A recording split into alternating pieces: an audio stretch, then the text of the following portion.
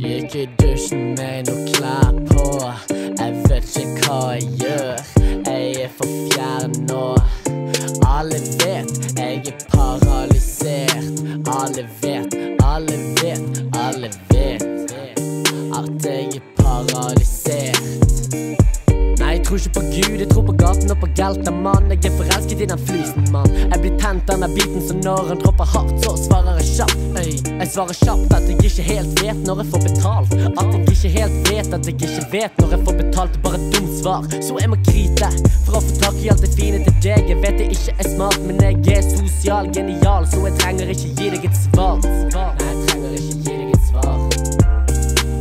Mye til å bikke over. Mine bars får alt til å lukte svovel. Mine tanker er så tunge at jeg går fra full fornuft til null fornuft. Og har igjen er null luft. Null luft. Det er null respekt, jeg har ikke flere trekk og ikke nok til at Mac A. For jeg er laid back, og jeg er alt vekk. Alt vekk. Jeg er alt vekk, alt vekk. Alt vekk. Gikk i dusjen med noe vet ikke hva jeg gjør. Jeg er for fjern nå. Alle vet jeg er paralysert. Alle vet,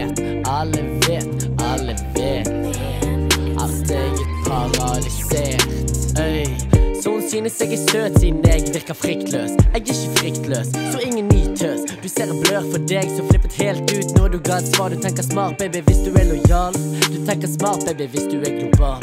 Så ikke lyv til meg, det skaper maks hat. Maks adrenalin før biten tar alt av vei. For jeg er hyperfokusert på den tingen min. Ja, jeg er hyperfokusert i lyrikken min. Så jeg tar et trekk som refleks. Jeg skinner opp når jeg tar et jeg faller opp og føler meg dum. Det er ikke fly som flamper. jeg er ung, jeg er dum. Jeg er aldri til stede, men fundamentet er solid, så du kan ikke fucke med det.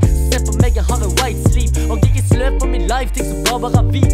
Men jeg gir en faen så lenge jeg får betalt. Får betalt, får betalt,